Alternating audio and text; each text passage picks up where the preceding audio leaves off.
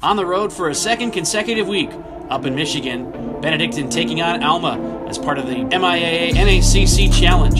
Juwan Nelson in special teams forcing a fumble recovered by Benedictine to set up a touchdown. Josh Williams on the ground.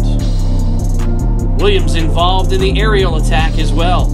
A 15 yard score from Ryan Sample. Sample showed he could do it with his feet as well, taking the misdirection up the gut for a score trailing big in the fourth quarter. It's time for a comeback. Big play down the field to Brandon Moore. And then Matt Fleming over the middle for the touchdown. John Roberts into the act as well. 45 26. John Roberts along the sideline, tiptoeing, making the catch in coverage.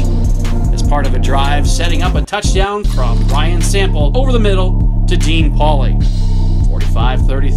45-33. Pauley helped set up another score as Sample flush from the pocket, rolling out, dumping off to Dean Pauley, who takes off for a 26-yard gain.